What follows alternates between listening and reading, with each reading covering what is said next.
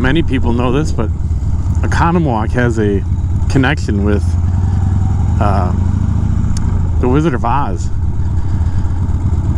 The Wizard of Oz debuted in a couple of cities. Oconomowoc was one of them. So I don't know. It's kind of interesting. I'll walk back here. You guys can see this. This is the city hall right here, which they did this huge mural of the Emerald City and Yellow Brick Road. I think they're still working on it a little bit, but looks like they got some yellow to work on there yet. But it's pretty cool looking.